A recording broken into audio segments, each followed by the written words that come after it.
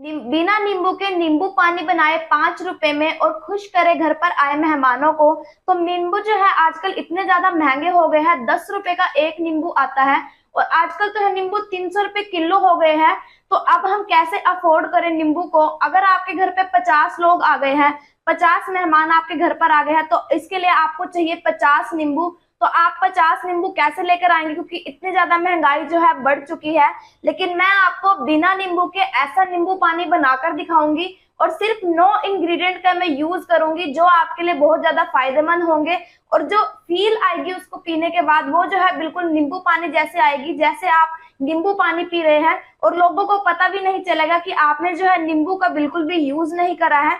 तो अभी मैं, ये नींबू जो है साइड में रख देती हूँ क्योंकि इनकी जो है बिल्कुल भी हमें ज़रूरत नहीं है।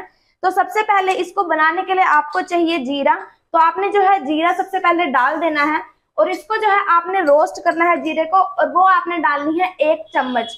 और अभी जो है इसको हम थोड़ा सा रोस्ट करेंगे। और आज मैं, आप मेरे को ये भी बताइए कि आपकी आपकी जो स्टेट है, उसमें कितने ज़्यादा महँगे हो रहे हैं नींबू? क्योंकि नींबू तो बढ़ते ही जा रहे हैं रेट उनका बढ़ता जा रहा है और पूरी गर्मियाँ जो है आपको नींबू खरीदने की ज़रूरत नहीं पड़ेगी। बिना नींबू के जो आप नींबू पानी घर पर आसानी से बना पाएँगे। तो आप जो है जीरे को अच्छे से रोस्ट कर लीजिए। अभी मैं आपको ऐसे नेक्स्ट इंग्रेडिएंट भी बताऊँगी जो इसके लिए बहुत ज़्यादा फ़ायदेमंद है। और हमारी, हमारे जो पेट होता है, उसके लिए जो जीरा है, बहुत ज़्यादा अच्छा होता है। और लास्ट में एक ऐसा मेन इंग्रेडिएंट भी बताऊँगी जो बिल्कुल नींबू जैसा टेस्ट देगा और आपकी सेहत को सही रखेगा। तो इसको जो आपने बिल्कुल थोड़ा थोड़ा हल्का हल्का जो है आपने इसको रोस्ट कर लेना है। उसके बाद आपने जो है गैस को कर देना है बंद। अच्छे से आप इसको रोस्ट कीजिए। देन इसके बाद आपको क्या लेना है? आपको इतना आप जो है इसके अंदर इसको रखे रहने दीजिए ताकि ये अच्छे से रोस्ट हो जाए। उसके बाद आपने डालने हैं इसके अंदर दो चम्मच आपने भर कर डालने हैं चीनी के। आप जो है अपने स्वाद अनुसार और भी डाल सकते हैं, अगर आप ज़्यादा चाहते हैं। जैसे कि कोई कोई जो है मिठा पीता है तो आप जो है थोड़ा सा और इसके अंदर डाल सकते हैं चीनी। उसके बाद आप नेक्स्ट इंग्रेडिएंट क्या डालना है? सबके घरों में जो है ये अवेलेबल होता है। सब जो है इसको अपने नींबू पानी में डालते हैं। तो वही मेन इंग्रेडिएंट है, वो आपने डालना है इसके अंदर। एक चम्मच भर के आपने डालना है इसके अंदर काला नमक।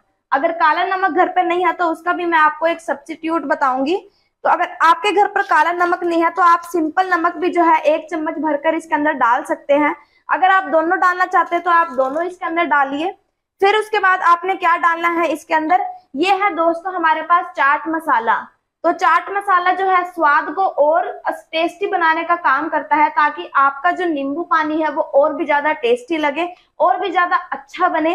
तो आपको डालना है इसके अंदर आधी चम्मच डालनी है आपने चाट मसाला। और अभी आप देखते रहिए कि कितना टेस्टी जो है ये नींबू पानी बनकर तैयार होगा। नेक्स्ट इंग्रेडिएंट जो है, बहुत ही अच्छा इंग्रेडिएंट है और ये हर किसी के घर पर होता है तो आपने इसके अंदर डालना है। ये है गरम मसाला। तो गरम मसाला आपने सिर्फ़ डालना है एक चुटकी या फिर एक पिंच आपने डालनी है। थोड़ी सी बिल्कुल वन फोर्थ आपने स्पून का डालना है। ये सब इंग्रेडिएंट बहुत ज़्यादा फ़ायदेमंद है हमारी सेहत के लिए, हमारे मुँह के स्वाद के लिए। और मेहमानों को मैं आपको सच बता रही हूँ, बिल्कुल भी पता नहीं चलेगा कि आपने नींबू डाले हैं या नहीं डाले हैं। चाहे नींबू कितना भी महँगा क्यों ना हो जाए, लेकिन आप जो है बिल्कुल भी आप बिल्कुल मत डरिए, क्योंकि नींबू के महँगाई से हमें कोई भी फ़र्क नहीं पड़ेगा। उसके बाद आपने डालना है आधा चम्मच, आपने इसके अंदर डालना है आमचूर पाउडर। तो इसको भी जो हम डाल देते हैं, अब आप सोच रहे होंगे कि पाउच जो घर पर मतलब जो दुकानों पर मिलते हैं, ये जो है केमिकल से भरपूर होते हैं। केमिकल जो है इनके अंदर बहुत ज़्यादा होता है। फिर ये दो रुपए का मिलता है और ये नींबू जो है दस रुपए का मिलता है। इसीलिए मिलता है क्योंकि दोस्तों, इसके अंदर नींबू नहीं, इसके अंदर केमिकल्स होते हैं जो हमारी सेहत को हार्म कर सकते हैं, जो हमारी सेहत के लिए नुकसानदायक होते हैं। तो ये तो आप बिल्कुल भी बिल्कुल मत पीजिए, लेकिन जो मैं आपको बताऊँगी, वो जो है बहुत ज़्यादा आपके लिए फ़ायदेमंद होगा और टेस्टी होगा। नेक्स्ट इंग्रेडिएंट आपने इसके अंदर डालनी है थोड़ी सी काली मिर्च। पीसी हुई आपने जो है एक एक मतलब आधी वन फोर्थ आपने चम्मच के जो आपने डालनी है मतलब एक चुटकी। उसके बाद आपने डालना है इसके अंदर भुना हुआ जीरा, जो हमने जीरा भुना था, वो जो है एक चम्मच ही हमने जो है इसके अंदर डाल देना है ऐसे। सारा जीरा जो आप इसके अंदर डाल दीजिए। इससे जो है जीरे से क्या होगा, ये और भी ज़्यादा टेस्टी बनेगा। नींबू पानी से भी ज़्यादा टेस्टी ये बनकर आपके सामने आएगा। जितना टेस्टी नींबू पानी भी नहीं होता है, उतना टेस्टी ये बनेगा। तो आपने इसके अंदर ये डाल देना है। उसके बाद सबसे अच्छा इंग्रेडिएंट जो आपके लिए सबसे अच्छा है वो आपने क्या डालना है? आपने डालना है सिट्रिक एसिड ये जो है, आपने सिर्फ़ आधी चम्मच डालना है। ये जो है, नींबू जो काम करता है, खटाई का, उसका ये काम करेगा। तो आपने जो है, आधी चम्मच उससे थोड़ा सा ज़्यादा आपने जो है, इसके अंदर डाल देना है। उसके बाद आपने इसको बंद करना है और इन सबको आपने करना है ग्राइंड ग्राइंड जब करना है, उसके बाद आपने इसको कैसे यूज़ करना है, वो मैं आपको अभी बताने जा रही हूँ। तो इन सबको हम कर लेते हैं आप ग्राइंड तो आप देखते रहिए कैसे जो है बिना नींबू के नींबू पानी बनकर अभी आपके सामने तैयार होगा। और इतना ज़्यादा ये फ़ायदेमंद है, इतना ज़्यादा टेस्टी है। अभी बिल्कुल जो इसका टेस्ट है, वो बिल्कुल नींबू पानी जैसा दिखाई देगा। तो ये पाउडर जो है यहाँ पर बनकर तैयार है। इसको आपने कैसे यूज़ करना है ये देखिए।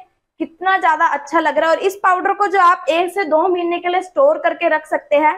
फिर आपने जो है स्वाद अनुसार इसके अंदर डालने हैं दो चम्मच। अगर ज़्यादा आप नींबू पानी का टेस्ट चाहते हैं तो आप ज़्यादा भी डाल सकते हैं। उस इसका कलर देखना आप बिल्कुल जैसे नींबू पानी का कलर होता है, वैसा जो है इसका कलर आएगा। इसके बाद आपने इसके अंदर डाल देना है ठंडा पानी। ये देखिए कैसे जो है, बिल्कुल जैसे नींबू पानी होता है, वैसा जो ये बनकर आ रहा है। और इतना अच्छा टेस्ट है इसका, बहुत ही अच्छा टेस्ट है। अभी मैं आपको इसे पी के भी दिखाऊँगी। इसको जो है आपने कर देना है अच्छे से मिक्स बिल्कुल भी हमने इसके अंदर नींबू का यूज़ नहीं करा है। ये नींबू बिल्कुल ऐसे ही पड़ा है, चाहे ये कितने भी महँगे क्यों ना हो जाए, लेकिन हम जो है बिल्कुल भी नहीं डरेंगे मेहमानों मेहमानों को बुलाने से। तो अब जो है मैं इसको पी के दिखा रही हूँ आपको, बहुत ही ज़्यादा टेस्टी और बहुत ही ज़्यादा अच्छा बना है ये। तो आप जो इस, इसको अपने घर पर ज़रूर ट्राई कीजिए।